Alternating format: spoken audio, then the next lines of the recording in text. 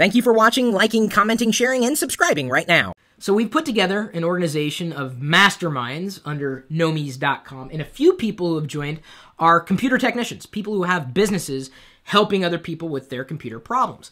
And during random discussions that we were having the other day in our public TeamSpeak server that's tied into the video feed at live.pirillo.com, we started discussing tools that are used to better diagnose and troubleshoot issues. This is now turned into an article on lockergnome.com as linked in the videos the the video's description. Let me go ahead and plus one that, just like Harry Creeder, Sean Jordan, Skylar Johnson, Stacey Ferris, and Brian Miner have done, because on here we've listed a few very helpful utilities, even if you're not a computer repair technician. If you are someone who's looking for tools to better troubleshoot problems, take a look at this list. Ultimate Boot CD.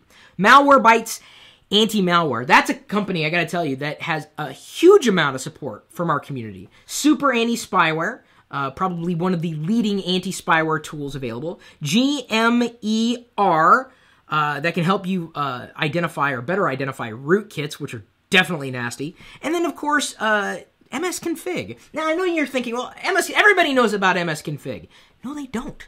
It, it's a tool that's baked into Windows, and you can access it to tweak things like uh, what processes might be running uh, on startup or not, or at least get a, a list of which processes are running. Uh, you can turn utilities on or off from running on startup that aren't processes or system processes. And I know if your your if your eyes are just glazing over, like, what, what the heck are you talking about? Well, even if you're not aware that these tools exist to make your life easier when it comes to troubleshooting problems that you might be having with a Windows PC, you might pass this list along to someone who could help you troubleshoot those problems. Or, you know, if you wanted a good place to start, this would be the list. Uh, we also threw in a bonus tip, a hat tip, a virtual hat tip to Steve Gibson for SpinRite, uh, probably the best way to recover data from a crashed hard drive. Uh, Area 51, he's also a computer technician. Venting Sanity, uh, PJ Hanna. We have so many geeks who have joined us in Gnomies, and they're building each other up. They're helping each other have a better business in computer repair. So if you want to go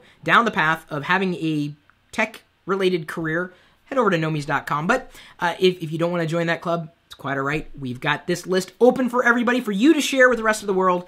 The top five programs with that bonus uh, thrown in there, just for good measure, uh, that every on site uh, support technician should have. Or even really, uh, if you uh, can't be on site, you can give it to the person who's on the other end to help you, I guess, fix the computer that you can't be physically in front of. It's a great set of resources.